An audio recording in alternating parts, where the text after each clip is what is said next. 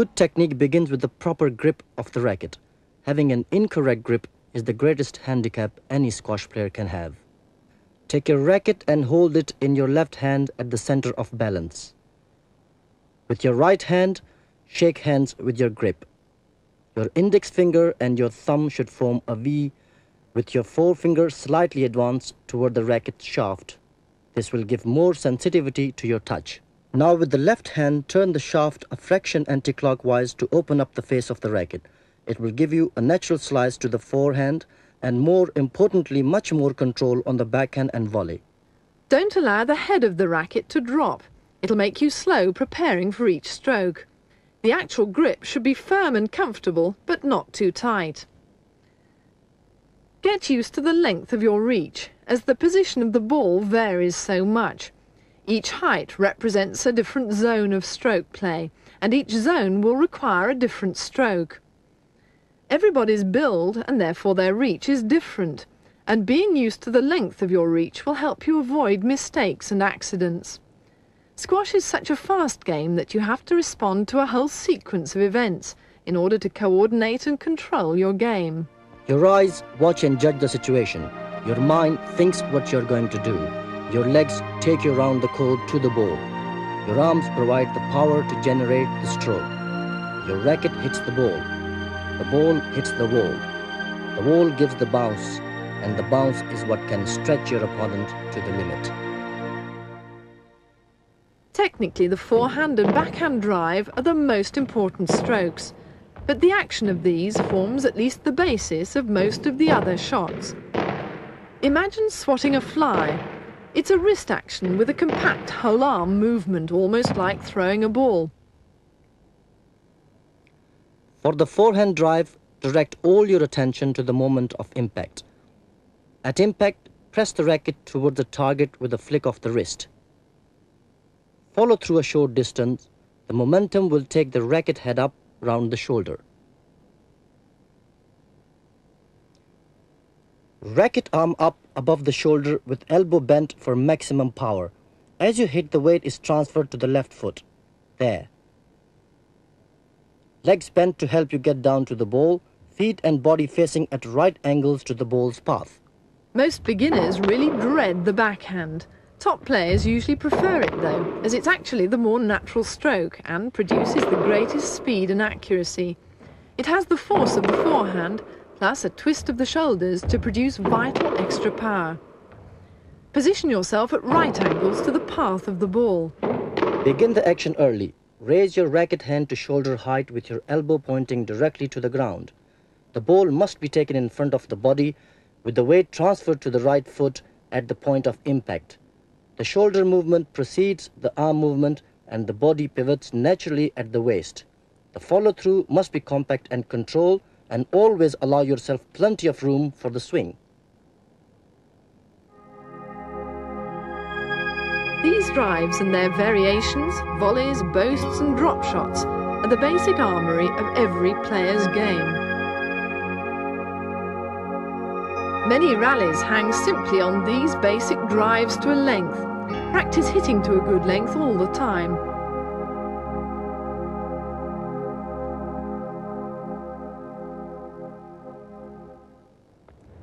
The direction of the drive cross court or down the wall will depend on how early or late you take the ball and how much you use your wrist. If you concentrate on keeping your grip tight, then what the wrist does tend to happen naturally. Tighten the fingers, but don't stiffen the grip. The height of the drive will depend entirely on how open or closed the racket face is at the moment of impact. If the ball passes you on either side, then you will have to use more of your wrist to obtain the correct angle. If you want to use deception, then wrist control is paramount. A squash court is a rectangular box with the front wall higher than the back. Squash is a game of angles, rather like snooker. You can hit the ball into any part of the court, depending on the angle at which you strike the ball. If you hit the back of the ball, it will go straight to the front wall and straight back. You hit the right side of the ball, it will hit the left side wall before it hits the front wall and then the other side wall. This shot is called a boast. You can even reach the front wall by hitting the back wall first. and played at the correct angle, the ball will cling to the sideboard. Hitting the ball to any part of the court will also depend on the angle of the racket face. The more open the racket angle, that is, with the head tilted back, the higher the trajectory of the ball.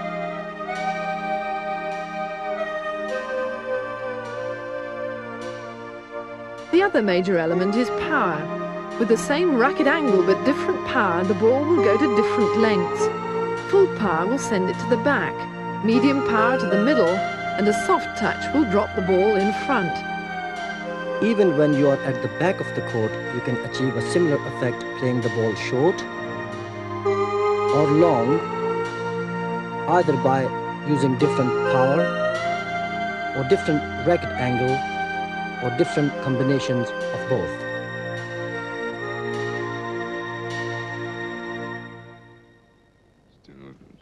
Just look at the angles Jahangir and Jansher Khan create to get the ball to every part of the court. The players use combinations of drives, drops and boasts to move the ball to all four corners and stretch the opponent to the limit. Each man has dazzling racket work and movement, and each tries to create an opening to make a kill. de fitste speler op het, in het circuit is op dit moment.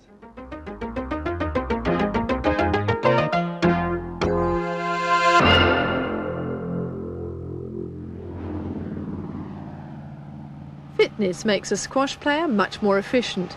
There's little difference between what Jahangir is doing and what you should do. It's just that at the highest level and with long, grueling rallies, he has to do a lot more of it. Strength and endurance, speed and agility are vital to top-class squash players.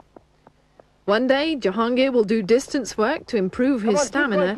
The next, he'll do different types of sprints to develop his speed. Many club players prefer just to go on court to bash the ball around and have some fun. But even for them, it's well worth paying attention to fitness. That's because it can also be their insurance policy against injury. By doing a little jogging, then going through the right exercises, you will help yourself avoid all sorts of physical problems. Although the squash court is small, there are lots of exercises you can perform on it. Make up your own routines using the length of court and the lines on it moving forwards, backwards and sideways.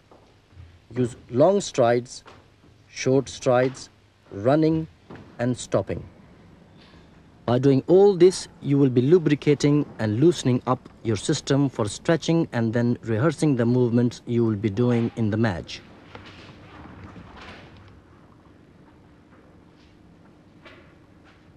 No matter what their standards, squash players need to be agile and supple. Stretching exercises like these should be done before and after a game as part of the warming up and cooling down process.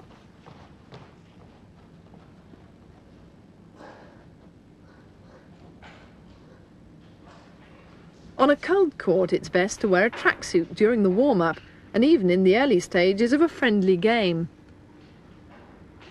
Jahangir will exercise for 15 minutes. You may not need to do this much, but why not try to arrive even five minutes earlier for a short warm-up session? You'll be amazed at what a difference it makes. All players should do a few minutes of warming up to loosen the muscles and ligaments. Only then should they start on the stretching exercises.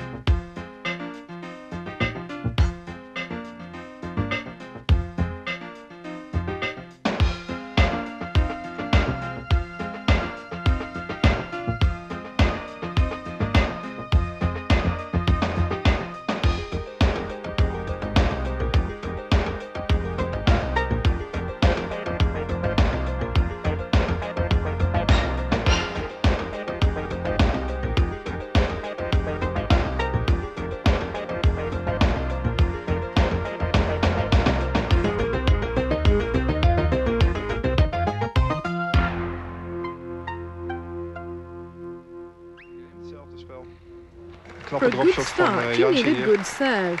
Many players underestimate its value. It's not merely a method of starting a rally and putting the ball into play. It's something that can give you a real advantage. Uh, so there are three types of serve. One is high lob serve, bouncing the ball onto the side wall, dropping on the floor, hitting the back wall. Limits your opponent's angle to hit the front wall.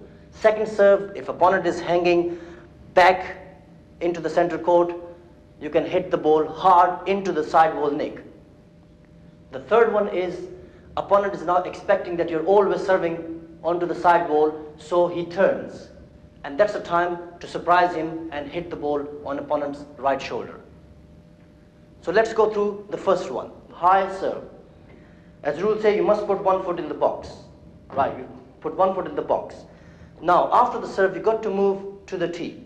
So it's important that you put right foot there, left foot here. Now you're in a position when you serve, you can actually take one step and you're on the tee and take full advantage of your opponent's return. So, foot in the box, left foot out, check your grip, racket face open, look at the front wall where you're going to hit because the front wall is going to give you the right answer. Aiming right below the outline. High lob serve onto the side wall, remember. So let's go. The serve should strike the front wall and side wall and finish as close to the back wall as possible. To test how good your serve is, put a racket two racket lengths from the back wall, and the ball should hit the side wall, then the floor, before finishing up in the area between the racket and the back wall. Right. Now the second serve, which is hard hit just above the service line and bouncing the ball into the side wall nick because opponent is hanging somewhere here. Right. Check your position, tight grip, look at the target, throw, Right. Now we have served high, lob serve, soft onto the side wall. We have served hard like tennis into the nick.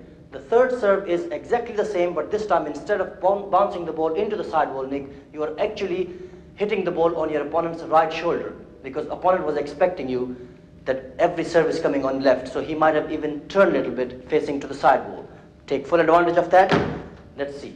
Again, check your grip, look at the target, Right. We have done forehand lob serve. There's another variation of lob serve, which is a backhand lob serve. You put your left foot in the box, right foot forward, and serve backhand lob. There, and you move to the tee. Right, serve from the left court now. It's almost the same like you serve from the right. Three different serve, high lob serve onto the side wall, hard and low serve bouncing into the side wall nick, and the other one surprising your opponent hitting the ball onto his shoulder. This time you put your right foot in the box, left foot out, you're right underneath the ball. Now the angle of hitting the ball is different because this time you can actually go under the ball and if you slice the ball, turning the ball toward the side wall, then the ball will go parallel onto the side wall which makes it cling to the side wall. Watch. Watch your opponent's position, check your grip, look at the target, and serve. the difference between a good serve and a bad one can be slight, but practice will give you the style and confidence to serve well consistently.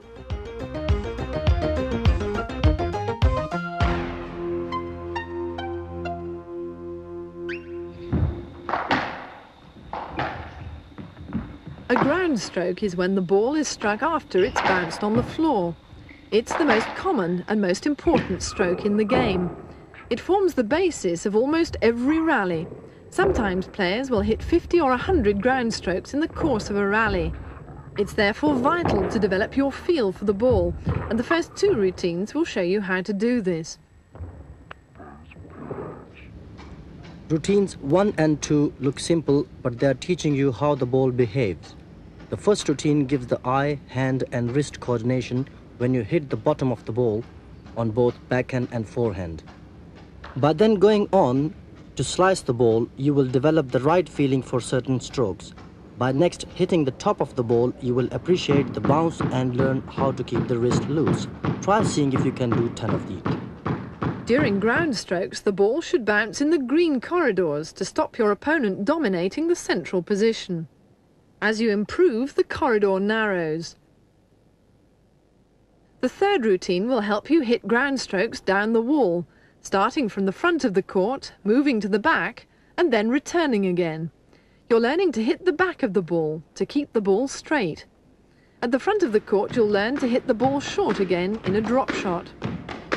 As you move back, you will be hitting the ball higher and harder to achieve a good length. The best length is when the first bounce is just behind the service box and the second bounce as near the back wall as possible.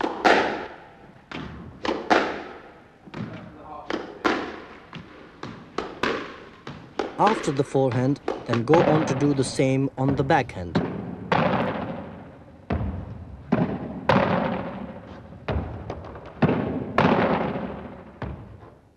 Routine 4 will help develop cross-court ground strokes by yourself. As before, start from the front and move back, but this time hit the ball alternately backhand and forehand. To develop a cross court, you will be learning to strike a different part of the ball from when you hit down the wall. Routine 5 is to help develop the boast. That's when the ball strikes the side wall first. Once again, you will be hitting forehands and backhands alternately, but this time moving diagonally back towards the center of the court.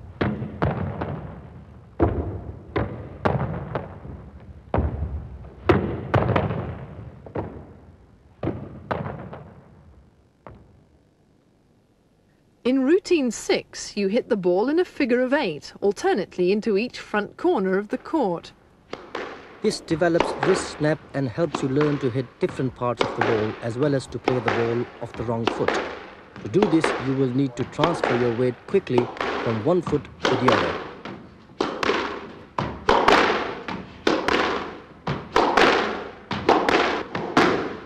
Routine 7 has you hitting cross-court ground strokes, but this time with a coach. This more realistically recreates the match situation because the player can adopt the proper footwork and use one stroke at a time, backhand or forehand. Routine 8 recreates match play better still because it stretches the players more. They move from the centre position to the ball at the front before hitting ground strokes, backhand cross court and forehand down the wall. Hit hard and low and move back to the T position in the centre each time. This is quite strenuous and a good fitness routine. It also helps develop movement forwards and backwards. It strengthens the legs, the power of the stroke, and the ability to place the ball accurately. Jahangir has his left foot forward for balance, his right arm up for power, and his eye on the ball the whole time. To increase the pressure, the player must now return to the side wall instead of the tee.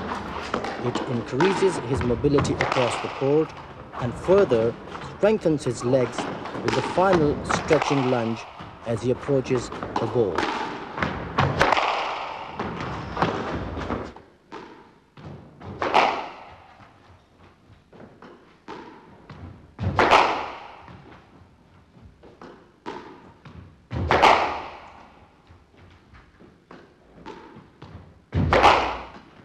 Routine 9 develops different kinds of boasts. At the front of the court, it is a trickle boast, where you pretend you are about to drive to a length but instead hit the ball to the side wall, thus wrong footing your opponent. In mid-court, it is an attacking boast, taking the opponent who is behind you from the back to the front. At the back of the court, it is a defensive boast, when you have been forced back into a deep position yourself.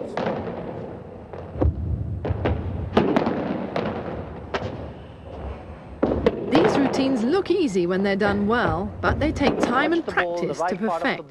They'll certainly help you develop your game enormously.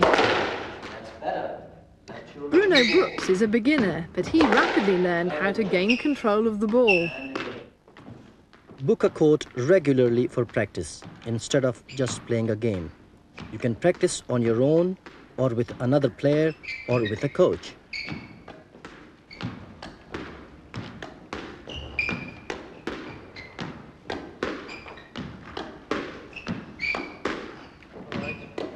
Although we've seen a wide array of angles, boasts and cross courts in these routines, the most important ground stroke by far is straight down the wall to a length, keeping the ball in the corridor we showed in routine 3, as Jahangir and Geoff Hunt do here.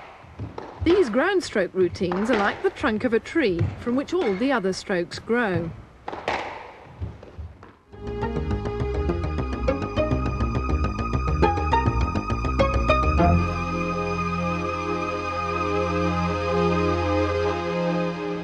Volley, a shot hit before the ball bounces, is valuable both for taking the initiative and keeping it.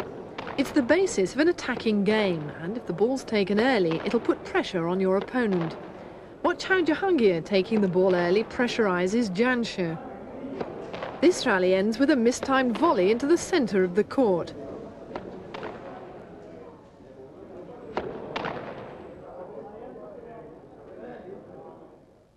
Just as with ground strokes, it's important to play the volleys accurately into the corridor.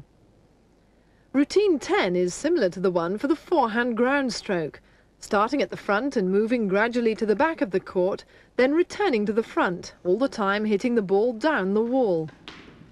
As you move back, you hit the ball higher. Use a shorter swing for extra control. And notice the importance of keeping your eyes on the ball. It is perfect practice for the return of the serve. These routines are like the trunk of the tree we mentioned. And from these, we now show the other strokes branching out. Routine 11 is a mid-court volley and good practice for returning the ball to the front. It should be targeted with a steady wrist above the service line. By learning to hit this target, it will help you to make a kill when you need to place the ball just one inch above the tin.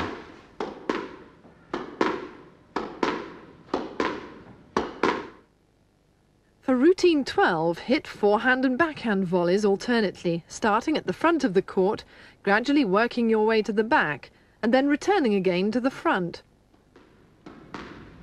When you are at the front, it helps you to learn to play a cross-court volley.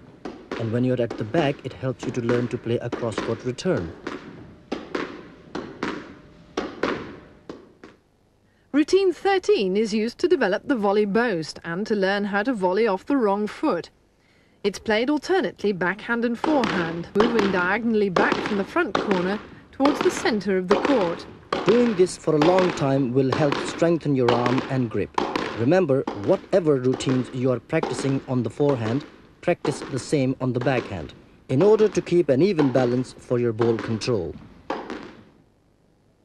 Routine 14 is the figure of eight exercise on the volley, alternately backhand and forehand.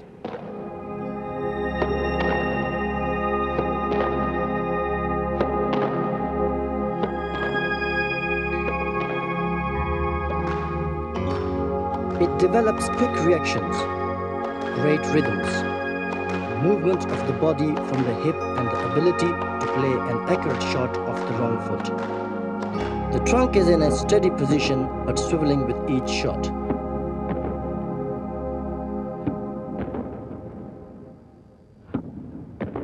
Routine 15 first has the player forehand volleying the ball to a length and moving to and from the central T position between each shot.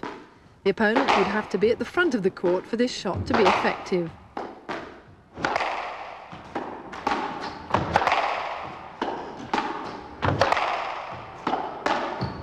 When the opponent's at the back of the court, then you want to cut the ball off short. This can be done either with a hard overhead or a high volley to the nick, or a soft, low volley drop into the nick. Stand almost square to the path of the ball to do this. Throughout all this, the coach's role is very important, feeding to different lengths, different speeds and different directions so as to keep the player prepared for almost any situation. For accuracy, on the backhand side, get the right foot forward. But if you can't manage this, you can still hit a well-placed volley by pressing the racket towards the target. Try and develop the volley so that you aim for the nick all the time. For the less advanced player, who may not hit the nick quite so often, Make sure the ball hits the side wall before the floor. Too many players lack the confidence even to try a volley. By doing these exercises, you'll develop the skill to be able to use the stroke in a match.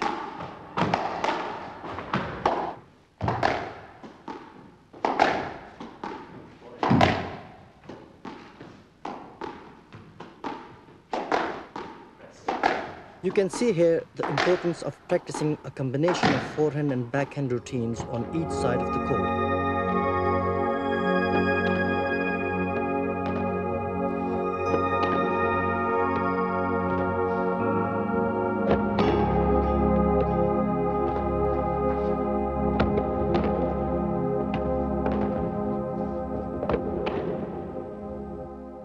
Routine 16 is the cross-court volley. When you're on the tee, you hit the ball to force your opponent to the back of the court.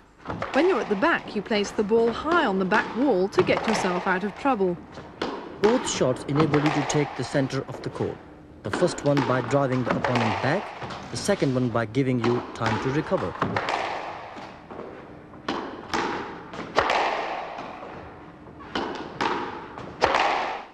Routine 17 is the volley to a length to take the opponent back and then a volley boast to bring the opponent forward. To do this, you have to hit two different parts of the ball. Do it on both the forehand and the backhand.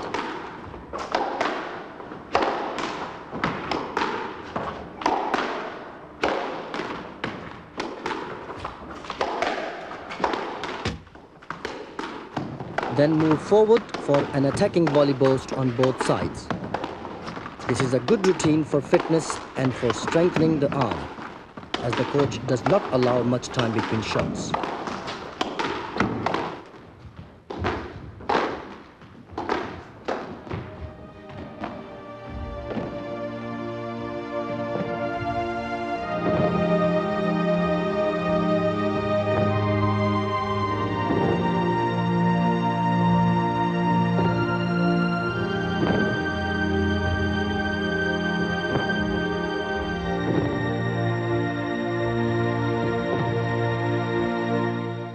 Routine 18 is a practice with another player instead of a coach. In this case, it's British champion Del Harris. Always practice with discipline. It's a good idea to make a game out of it, with scoring to give you greater motivation. After doing cross-court volleys from the mid-court, the two players move forward and feed each other with volleys from the front court. They finish each exercise with a kill. Cooperation is vital for maximum benefit.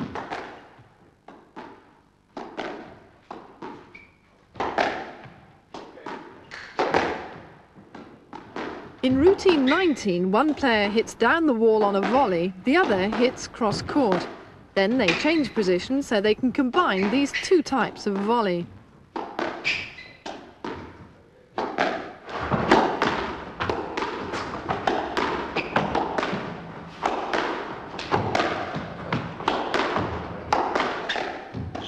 During routine 20, each player is alternately moving across to cut the ball off.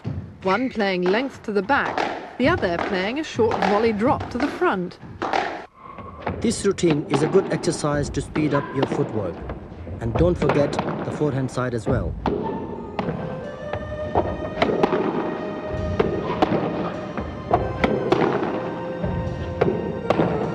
Although this exercise looks very fast and slick when done by Jahangir and Del Harris, it can be done by players of different standards.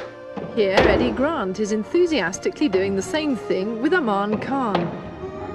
Try to practice as often as possible before or after a friendly game.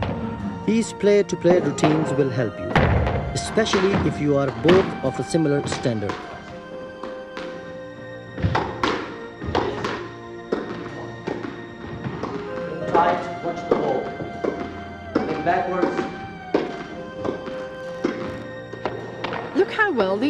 Practice routines work for Jahangir in a match.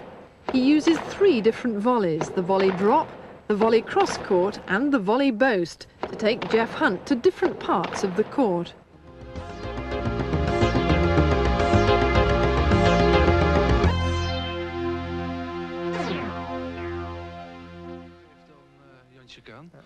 When many people talk about length, they think met it means playing to the back of the court. But in fact, length means playing the ball to the furthest point from your opponent, and this Jantje could just as well be to the front of the court as to the back.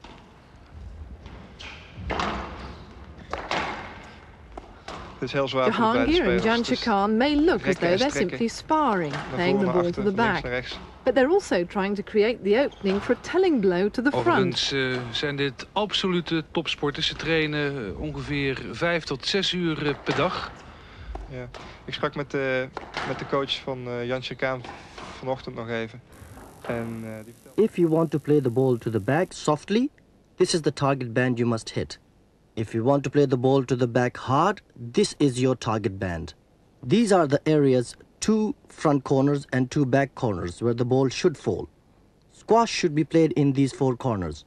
How do you do that? The front wall will give you the right answer. Routine 21 gives two practices for length. It is a down-the-wall routine, similar to the ground stroke and volley routines we have seen. But now, Jahangir is undercutting the ball.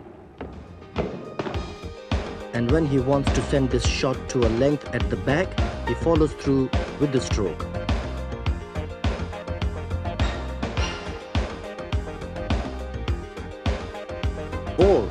If it is to go to the front, the follow-through shortens.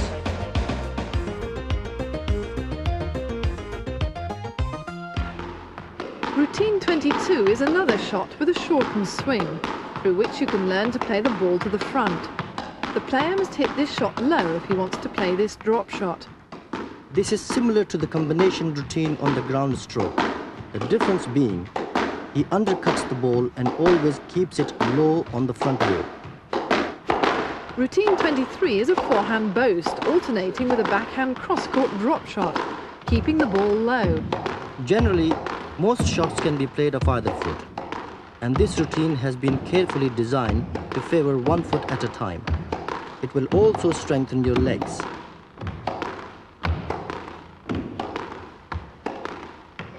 In routine 24, Jahangir is using a lot of slice on both backhand and forehand.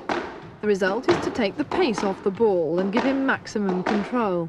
Again, a similar routine to the volley combination moving across the short line.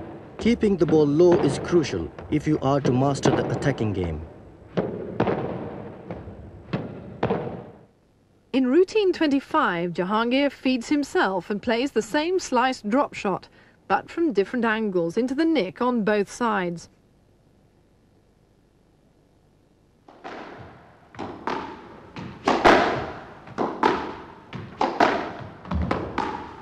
Slice can also be used on an overhead or high forehand volley cross-court into the nick.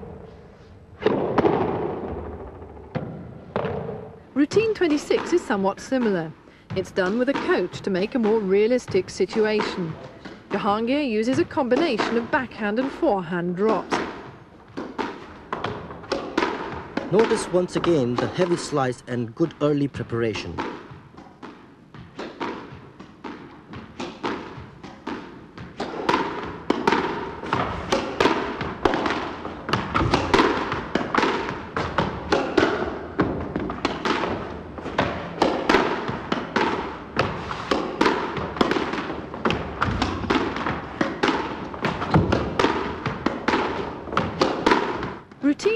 27 is the straight drop.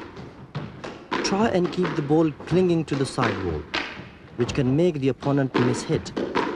Because you don't have much angle, it is difficult to put the ball into the nick. But you can still make it hard for the opponent by putting the ball right on the sidewall.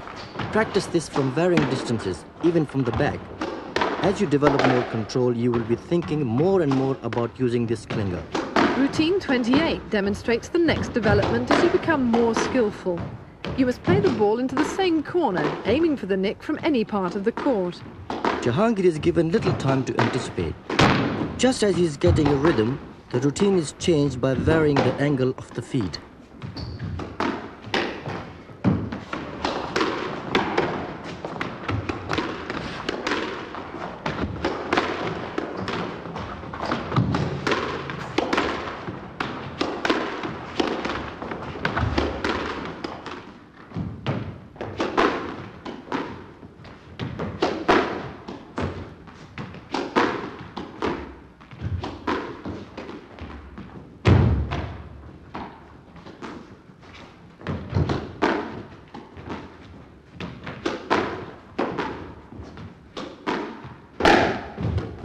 Routine 29 is a combination of ground stroke drop and volley drop. Jahangir alternates the two strokes and the sides on which he does them, forehand and backhand. Wherever the ball comes, there is no excuse not to play it short. If you play a good drop shot, be ready for a weak return from your opponent.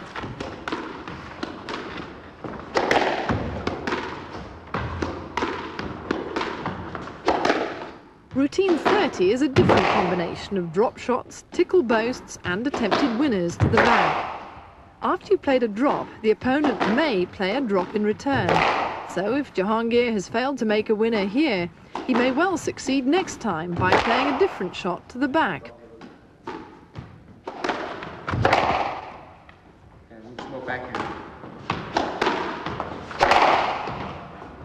This is a dual role exercise where you can act as both yourself and your opponent. Don't forget to use both sides of the court. Routine 31 is one of the most basic and important practices. Try to hit 100 straight drives off one bounce. This is good for keeping the ball in the corridor down the wall, getting a good length and strengthening the arm. Even if you fail on the 99th stroke, you must start again.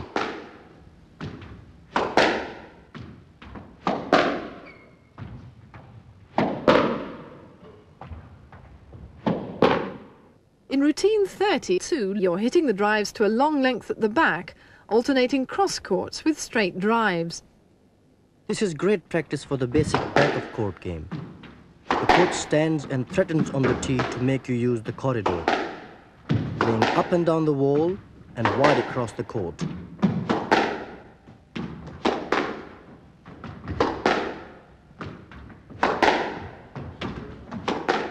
In routine 33, two players demonstrate the same practice. Martine Le Moignan this time playing with Lisa Opie. It can be done in a game with scoring. One player can hit a cross court and one down the wall, and then change roles.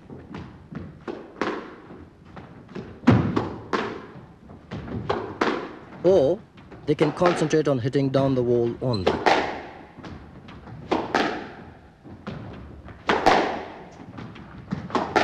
In routine 34, one player feeds anywhere and the other player hits only down the wall. The player who's feeding can really practice all the shots boasts, drives, drops, and volleys. The other player who's practicing hitting to a good length can also change to cross courts. This routine will teach you attacking and defensive squash and will also help you move quickly to the four corners and develop discipline.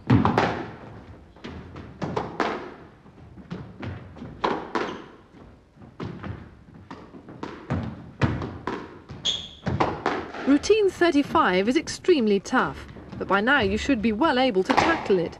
It's drop countered by drop and drive countered by drive. It teaches you to drop from the front and drop from the back, to play a length from the front and a length from the back. It is a perfect practice for moving your opponent from front to back and for changing the pace. It is also a great routine for developing fitness.